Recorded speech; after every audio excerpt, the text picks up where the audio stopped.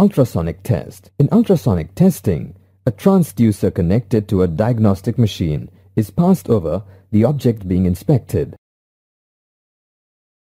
The transducer sends pulse waves through the surface of the object and receives the sound reflected back to the device.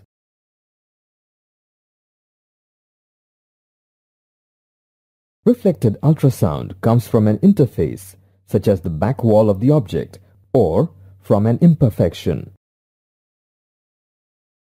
The CRT screen on the calibrated diagnostic machine displays these results in the form of a signal, with an amplitude representing the intensity of the reflection and the distance taken for the reflection to return to the transducer.